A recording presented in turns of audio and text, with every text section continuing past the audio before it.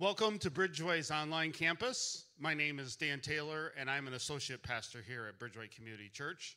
And today, our senior pastor is finishing up a sermon series entitled Threshold. If you have kids, our children's ministry has created a service especially for them, and you can find that at bridgeway.cc forward slash kids. Let's pray for the service. Jesus, you are so good to us. And we see that goodness in the story that you are writing on each of our individual lives. So we pray that you will use this service as another demonstration of your goodness to us, that you will hear our prayers, accept our worship, and that you will shower your people with your grace. In the name of Jesus, we pray. Amen. So, wherever you are, stand and join us together as we will worship our God, Bridgeway.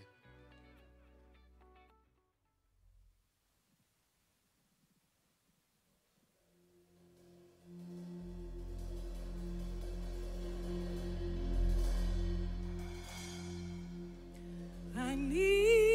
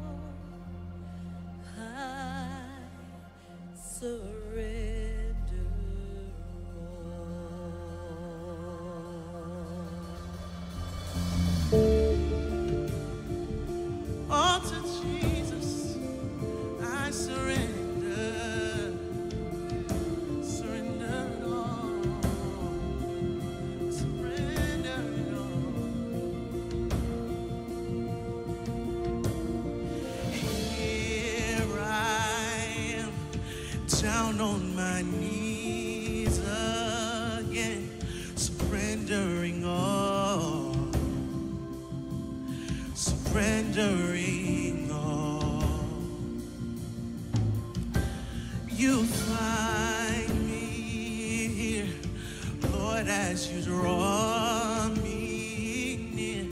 I'm desperate for you.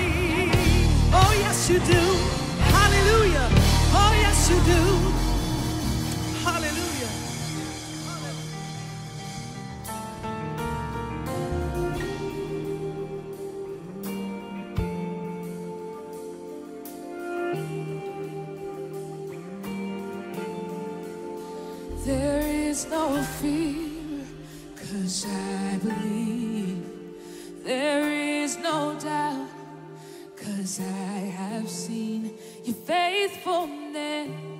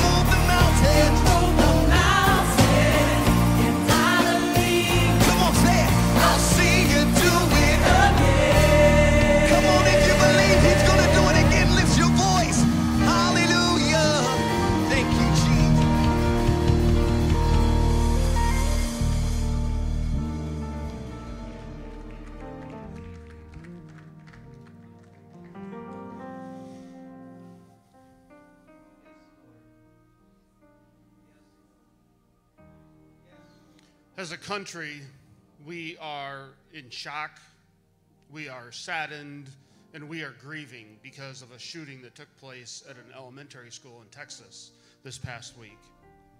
And so we thought it would be appropriate for us to create a moment in our service where we, as the people of God, can open up our hearts to God during these difficult circumstances.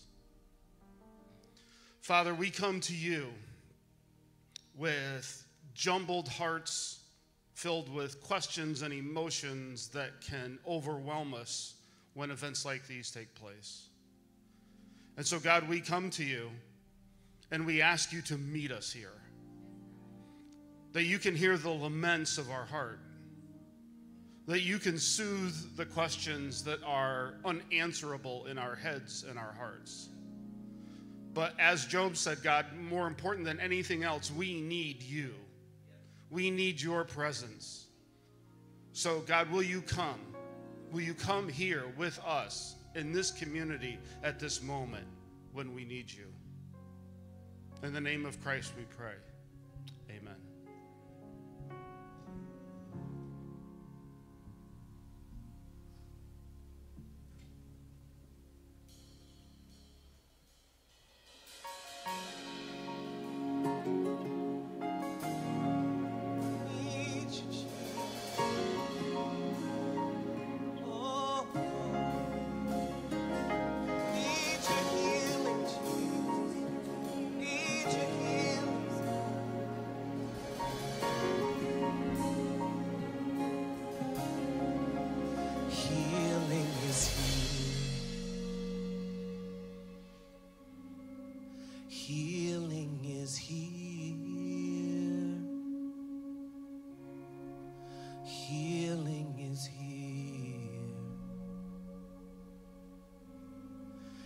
I receive it.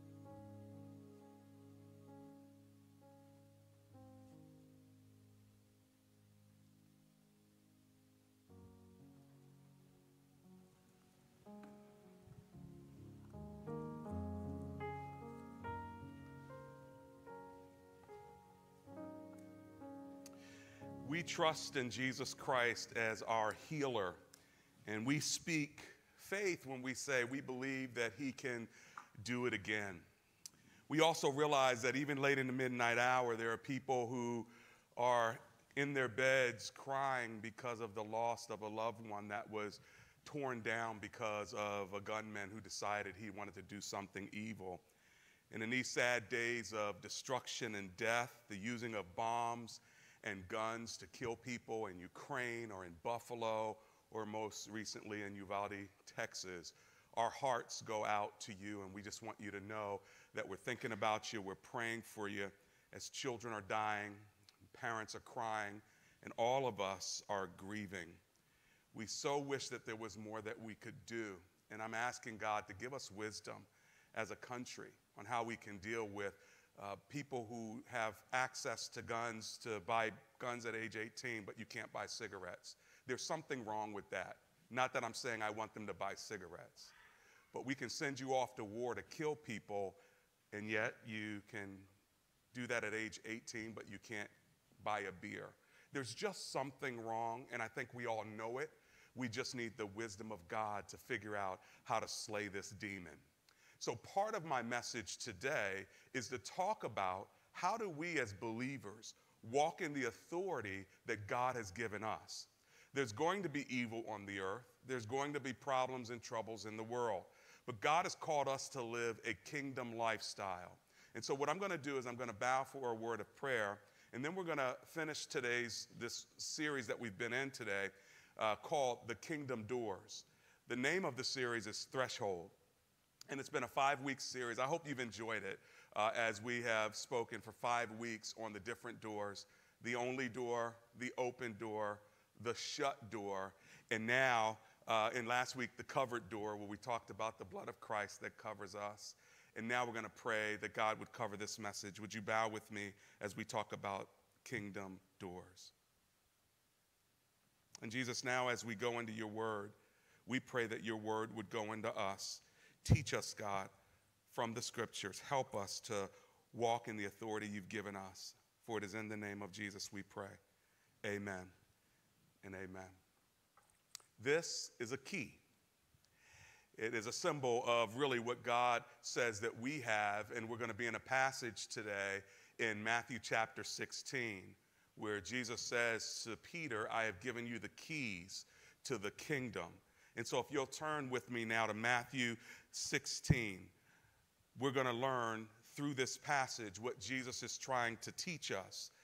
And he talks about the kings, keys of the kingdom, and more specifically, once you enter the door of Jesus Christ and walk into a relationship, a fellowship with him, you are then given kingdom business to do.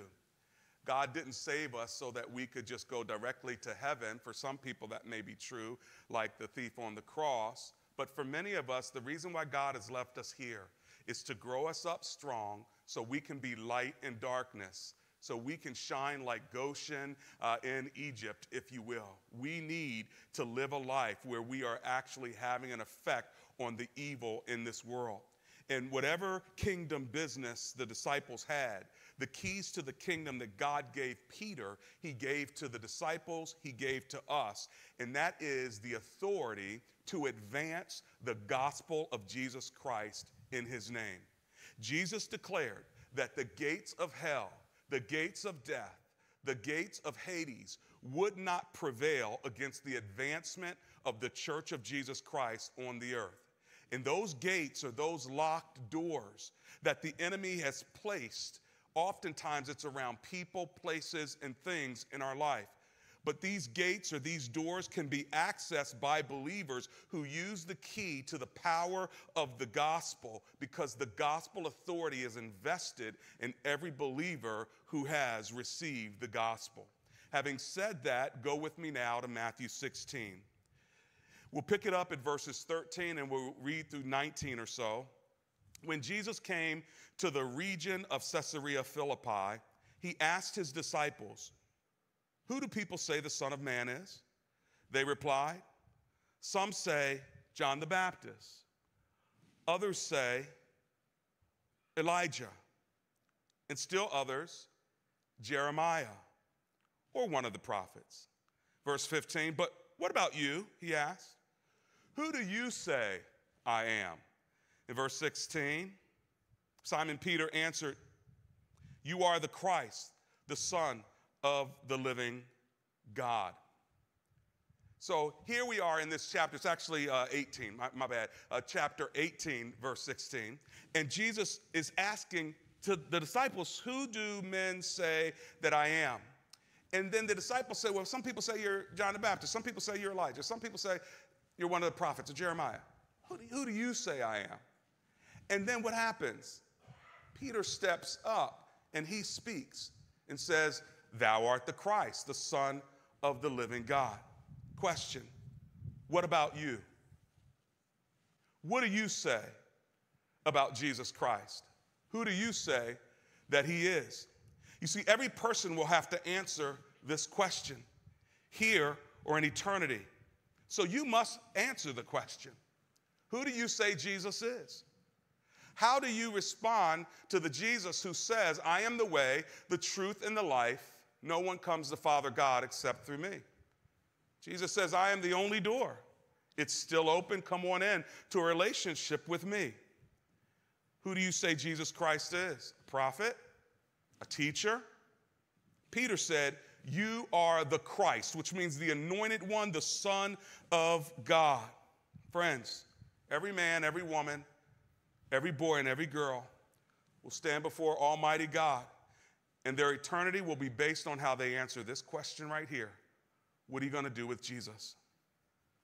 And so Jesus says back to our dear brother Peter Blessed are you, Simon, son of Jonah, for this was revealed not by you, but by man. This was revealed to you by man.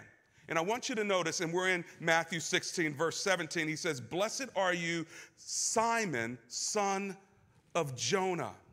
And he goes on to say, It was not revealed to you by man, but by my Father in heaven. Question Has God revealed who Jesus is to you? has God revealed who Jesus is to you. If you seek him, you will find him. If you invite him, he will come. Jesus is seeking you, and he will be revealed to everyone who calls on the name of Jesus. And in verse 18, I tell you, listen how Jesus responds now to Peter. He says in 16, 18 of Matthew, he says, You are Peter, and on this rock I will build my church, and the gates of Hades will not overcome it. This is significant because Jesus is saying in this moment, You are Peter. You are stepping into the calling that I always had for you. You see, when Jesus relates to you, he doesn't relate to you simply with regard to who you are and where you are now. He does that. But because he's the God of the past, present, and future, he can see who you are becoming. And so he relates to you not just based on now, but based on the future because he knows what he's going to do in your life. And you may say, well, what does this mean when he says, You are Peter? Well, let me ask you the question Does anyone remember the first encounter that Jesus had with Simon Peter when they first met? You remember in John chapter 1 when Andrew goes to get his brother Simon Peter and brings him to Jesus and they spend a day with Jesus? In John 1, verses 41 and 42, listen to what it says.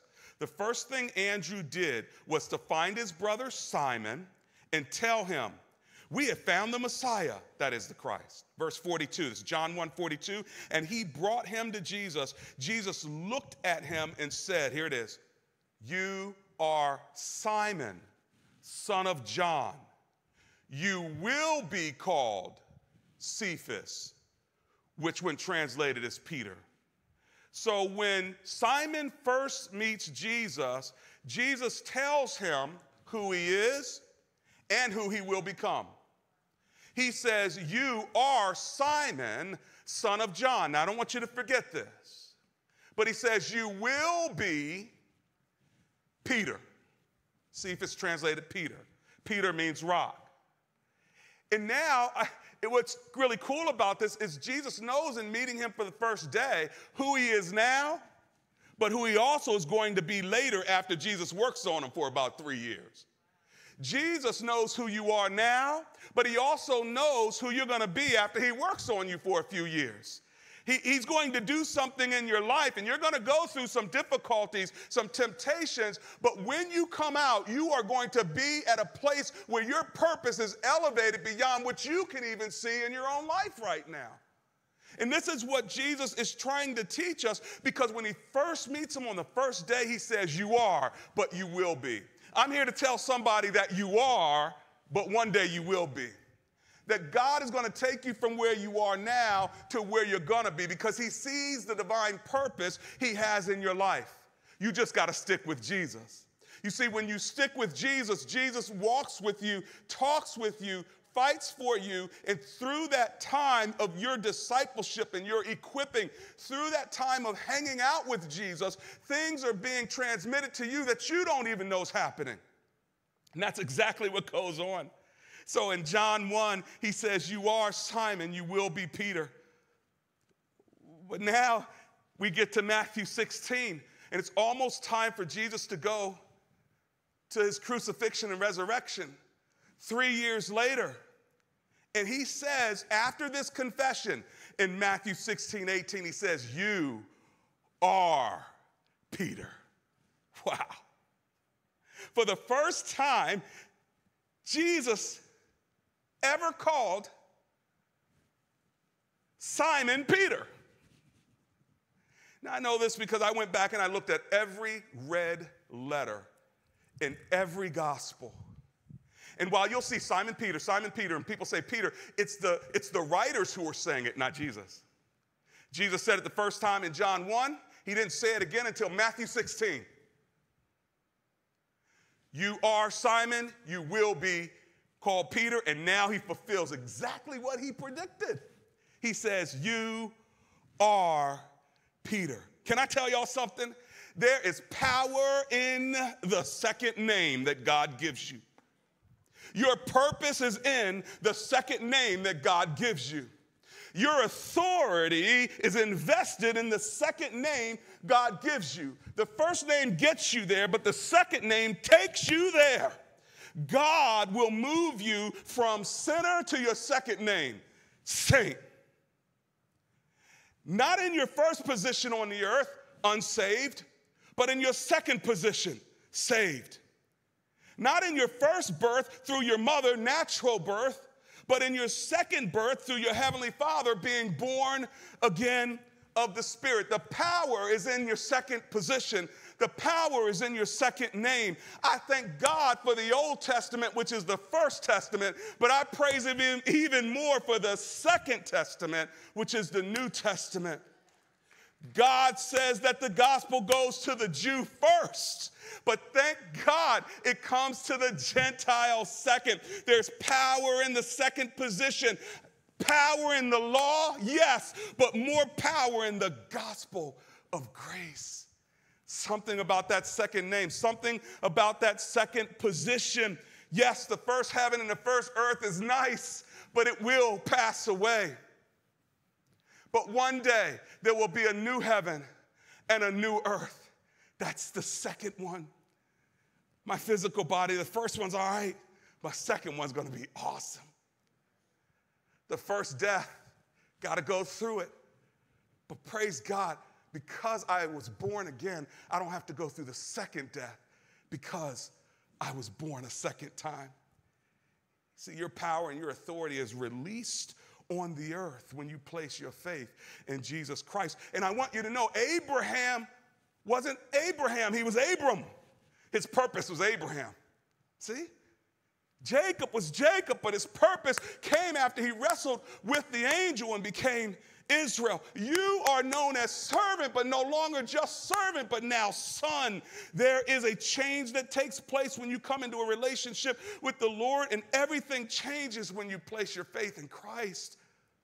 And then when you get back to the passage, you get the verse 19, and I just want you to notice that once Peter makes the confession, then Jesus tells him the name and the authority now that he can live in connected to his purpose.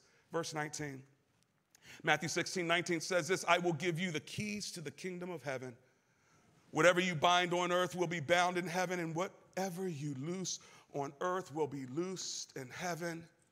See, keys signify authority. And he says, I've given you the keys to the kingdom. See, believers, we must hold on to the fact that we can activate our faith and our authority by walking in the power of the gospel by faith and not by sight. Practically speaking, what locked areas has God given you authority in and over that you must now access by activating your faith? You see, the only way that the key works is if you work the key. A key on a ring has no power. An unused key means nothing, there's no purpose. The purpose comes when you take the key and you turn the key. Can you write in there, turn the key? Can you type in there, take the key, turn the key? Because the key by itself has no power. You have to activate it. In other words, there's got to be a connection between the key and the lock, between the key card and the lock, between the key code and the lock. Without the connection, there's no power. You have to activate it. And there must be a connection between the key and the lock itself. If it just stays in your pocket, it has no power. There are a lot of believers that has their faith in their pocket. They carry the faith with them, but they don't activate the faith. They don't live with their faith. They just have it in their pocket. Pull it out when they think they need it. There are a lot of Christians this way today. And likewise, friends, if you have the keys of the kingdom, you need to know that if you don't activate it, it won't act. If you don't take it and turn it, there will be no power. There are a lot of believers who do not have power because all they want to do is carry their faith in their pocket like a badge, like a license, like a credit card. They keep it in their pocket. It has no power. And if you're a believer, you have to take the key and then you have to turn it because the key by itself means nothing. But now Peter's ready to receive the keys. He couldn't handle the keys in his first state, he couldn't handle the keys before he made his confession with his mouth. But now that he's made his confession with his mouth, now that he began to step up and stand into who he was in Christ, now that his belief was sure, Jesus then says, Now you're ready. I give you the keys to the kingdom. This is so important because you got to understand that we have the master key, and that is the gospel. The gospel is the key. The gospel has the key to, to save human souls. The gospel has the key to heal human hearts.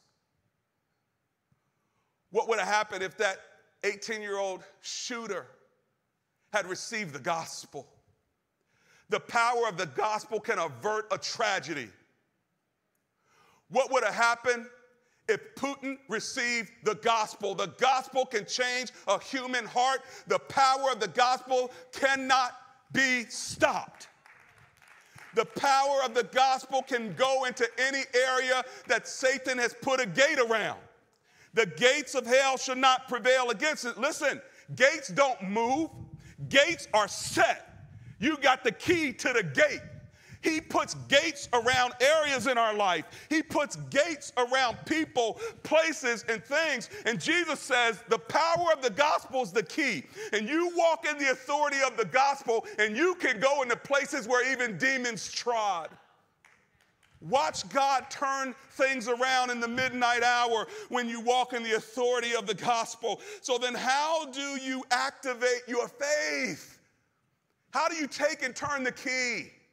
Three ways. Number one, walk in your authority. Chapter 16, verse 17. Walk in your authority. He says, Blessed are you, Simon, son of Jonah. Now remember, you gotta, you gotta remember what we said before. In John 1, verse 42, I believe it was, Blessed are you, Simon, son of who? Son of John. Now, he says, You will be called, you are Peter. And now, what does he say? Blessed are you, Simon, son of Jonah. See, the first name came from his father, John. The second name comes from his heavenly father, Jonah. Not the same word in the Greek. John and Jonah are different. Jonah was that prophet from the Old Testament. Do you remember his story? Well, we're in Matthew 16. If you go back and look at verse 1, it says that the Pharisees and the Sadducees wanted to test Jesus and they were asking him for a sign. And Jesus said, and you can read it on your own sometimes, Jesus said, the only sign you're going to get is the sign of Jonah. So the whole context up until this point is they're testing Jesus and he says he's going to give them a sign, the sign of Jonah. What's the sign of Jonah? Well, Jonah was in the belly of a fish for three days and three nights. Jesus was in the belly of the earth for three days and three nights. What he's saying is that the crucifixion, the burial, and the resurrection of Jesus Christ, when you place faith in that, that's the gospel. The only sign you're going to get is the death, burial, and resurrection of Christ. You're wicked, always looking for a sign. Only sign you're going to get is the sign of the gospel, the sign of Jonah. But here's what's interesting God told Jonah to go to the Gentiles in a place called Nineveh to preach his mercy. Jonah ran the other direction, he didn't want to do it. But God always gets his man. Before it was over, he became fillet of fish. Got thrown over the boat, and now he's in the water, and then this fish comes, big fish, and swallows Jonah whole. And now Jonah is still alive in the belly of the fish until he comes to a place of repentance and then the fish vomits him out, and guess where he goes? he goes to Nineveh to preach the mercy of God. God always gets his man, and guess what? God's got all the time in the world because he's above time. So take your time, go on your little cruise, but when you're ready, we're to go do what I've purposed for you to do, okay? And so Jonah does what? Even though he didn't want to go to the Gentiles, even though he didn't want to go to Nineveh, what did he do? He preached mercy. And guess what happened in Nineveh? They all repented, which is exactly probably what he didn't want. But they did. They all repented. So now, when you see Jesus saying this to the Pharisees and the Sadducees, only thing you're going to get is a sign of Jonah. And now he says to Simon, Simon, not son of John, your human father, son of Jonah, his purpose. Like Jonah, you will now go to the Gentiles and you will preach the gospel. Wow. Once he confesses Jesus, Jesus says, now you can step into your second name. Now you can step into your purpose. You will be like Jonah. And Peter's name is Rock. And he says, Upon this rock, I will build my church. I meaning I'm the one that's going to build it. My meaning I'm the owner of it. I'm the builder and the owner. I will build my church, and the gates of hell will not prevail against it. Is the rock Peter? Well, that is his name. Could it be his confession? Well, that's rock solid. But we know that Jesus also is the solid rock, the firm foundation. And in Peter's letter, he calls us all living stones. But I want you to see how powerful this truly is. That Jesus is saying, You have the keys of the kingdom because now you're going to live out your purpose, which is the gospel. And like Jonah, Peter, you know what? You were a fisherman. And now I'm calling you the son of one who was swallowed by a fish. So, Peter, you were a fisherman, but remember I told you in Luke 5 one day you will be fishers of men? Jonah. That's who you're the son of now. Go do it. Fishers of men. And we all know in Acts chapter 2, that's exactly what happened. This was fulfilled. Now Peter was a fisherman, all right. But he was a fisherman not in the father's business of Jonah, of John, but in the father's business of Jonah, taking the power of the gospel that can walk into a Nineveh that is completely antithetical to everything and turn it on its head. Yes, God can save Putin with the gospel. And God can save the next shooter with the gospel. But we've got to be willing to go to the very people that we might be afraid of, that we might not like. Yeah, they were racist in Nineveh. No, he didn't want mercy to happen to him. But he went and did what God said, and he saw the power of God work through him. And the same is true. What would happen if Dylann Roof received the gospel of Jesus Christ? What would happen if people came up alongside of him and loved on him? Maybe, just maybe that day, he wouldn't go into Mother Emanuel Church and start shooting up until he killed nine people while they were at a prayer meeting. Friends, I'm just simply saying this the gospel has power, but we must, number one, walk in our authority. Take your key with you, which is the power of the gospel. Take the power of the gospel to work. Take it to your meetings. Take it to your school. Take it to your community. Say, Lord, as I walk into this meeting, I take the power of the gospel with me. I'm going to walk in the authority of the gospel. How do you activate your faith? You do it in three areas, three ways. Number one, walk in your authority. Number two, talk in your authority. Speak what you believe. Romans 8 says this. Check out verses 8 and 10 from Romans, Romans chapter 10, verses 8 and 10. Listen to what it says.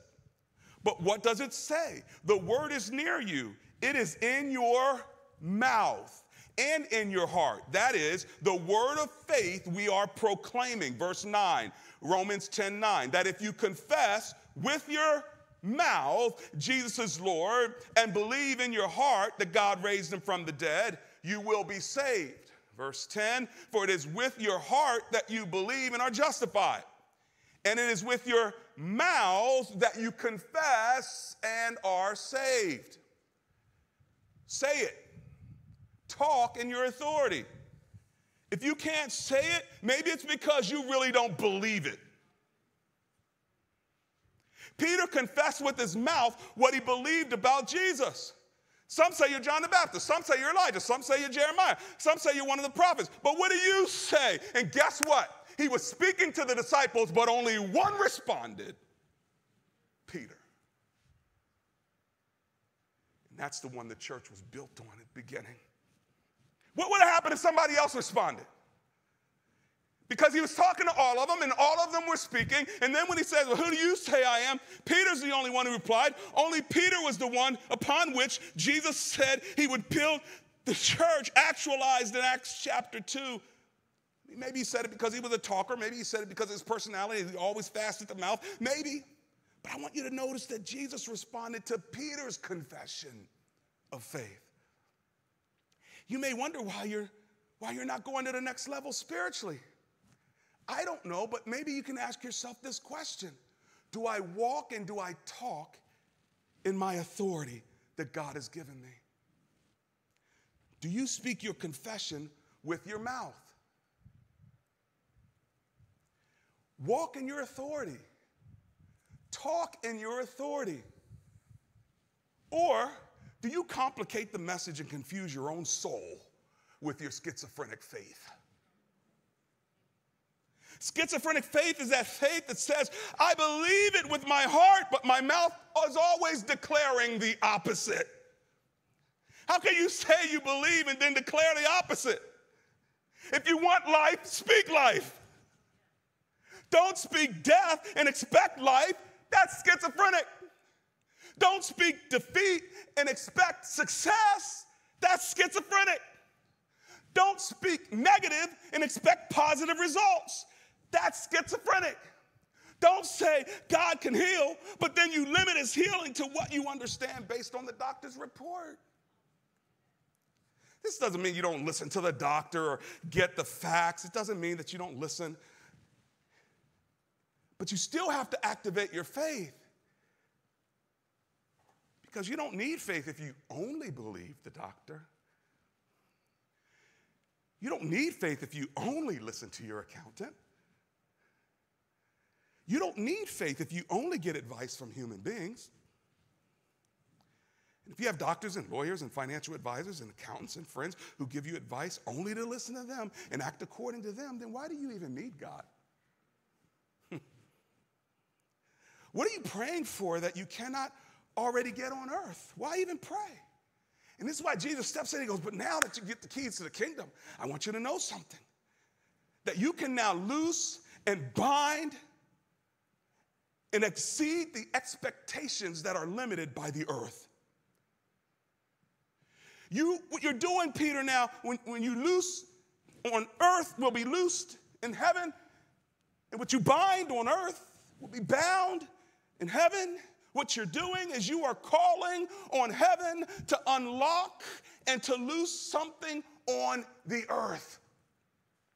You're activating your faith by walking in your authority, by talking in your authority. You are calling for a miracle beyond science. When you bind and close the door on the earth, that will take a, a heavenly move in order to lock it, then you're going beyond human potential. You are calling on heaven as your ultimate power and authority. In other words, there is an authority that supersedes science and technology and medicine and human governments and the law of the land. This authority is rooted in the power of the gospel. And Jesus is elevating Peter's faith by connecting heaven and earth. Not just loosing on earth, but in heaven. Not just binding on earth, but in heaven. You're bringing heaven's authority and power to bear on the earth. And if you don't believe it, then why do you pray? Thy kingdom come, thy will be done on what? Earth as it is where?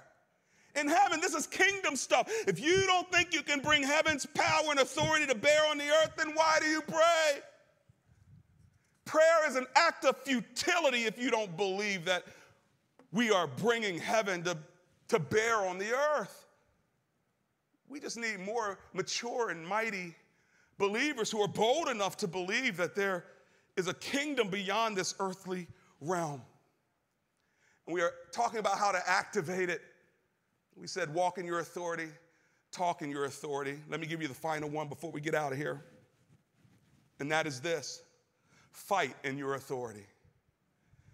Because in this same chapter 16, 18, he says, The gates of hell will not overtake it. But then, after all of this dialogue with Jesus, this moment, right, where he steps into his purpose, gets his second name, you are called Peter, son of Jonah, not, not son, like, okay, got it. All right, and you're gonna be a fisher of men, and, and, and, and you're gonna bind and you're gonna loose. All of this happens, right? And you get to verse 21, and Jesus says, Yeah, by the way, I'm gonna have to leave you guys. Remember how I was talking about the whole three day, three night Jonah, death, burial, resurrection thing? Yeah, well, that's gonna happen. Peter's like, no, no, no, no, it ain't gonna happen. You ain't doing that. And check out verse 22. Peter took him aside and began to rebuke him. "Uh, Never, Lord, he said, this shall never happen to you. Notice what Jesus says in verse 23. This is Matthew 16, 23. Jesus turned and said to Peter, now, the same Peter that he just said, I'm, I'm you know, you are Peter and you're binding and loosing, right? the same Peter. Just a couple verses later, that's what Jesus says. Jesus turns and says to Peter, Get behind me, Satan. What? Didn't you just call me? Like, hold on, hey, I'm in my purpose. Maybe that's why I felt proud enough to rebuke you, because you know I'm in my purpose. You told me, right? And that's the problem, right? We get into our purpose, the pride will take over. God will anoint you before you know it. You think you the, the stuff.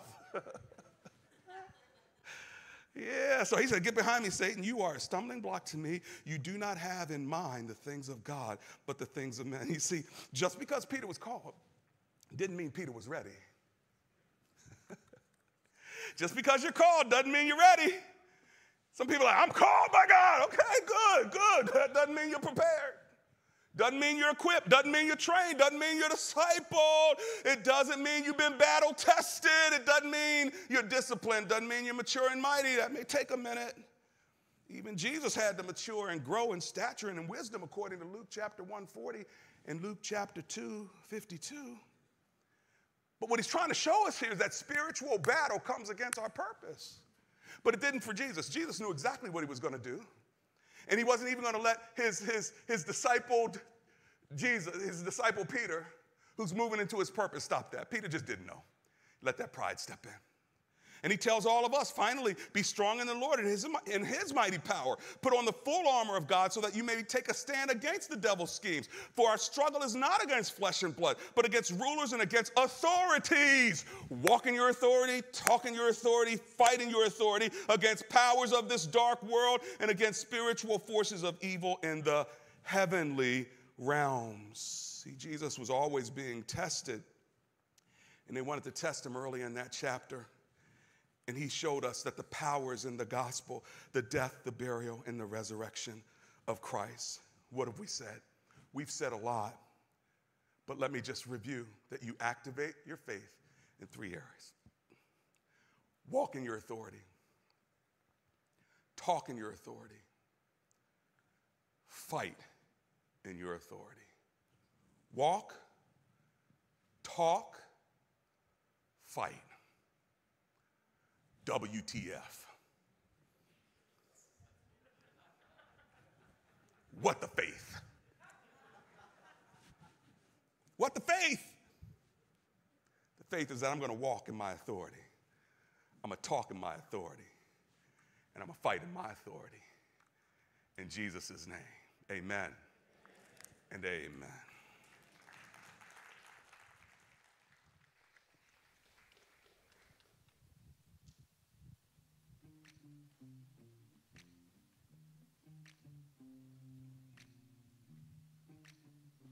Thank you, Dr. Anderson, for that inspiring message. If this message inspired you, please tell your friends and your family members, and so they can be inspired by this message as well. If you made a decision today to follow Christ, or you want to know how to make that decision, or you have spiritual questions, text the words fill me to 97,000 and we would love to help you as you work on your journey with Jesus. We are now going to go toward a time of giving in our service, and we want you to know we don't create services to obligate you to give to us. It is really for those of us who call Bridgeway home an opportunity to give to God because He's given so much to us.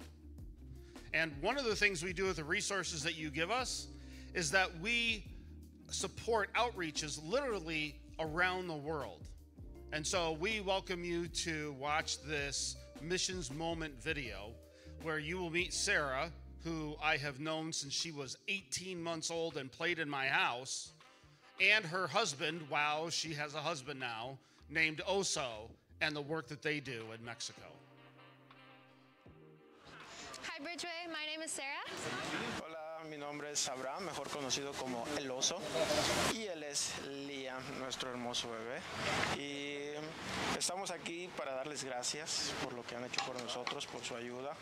Este, parte de lo que hacemos lo que yo hago en Pucum, que es donde colaboramos, es trabajar con equipos, eh, llevarlos, eh, hacer ministerio, trabajos en la base, mantenimiento y cositas así que hacen falta. Así que muchas gracias por todo el apoyo que nos han brindado durante todo tiempo.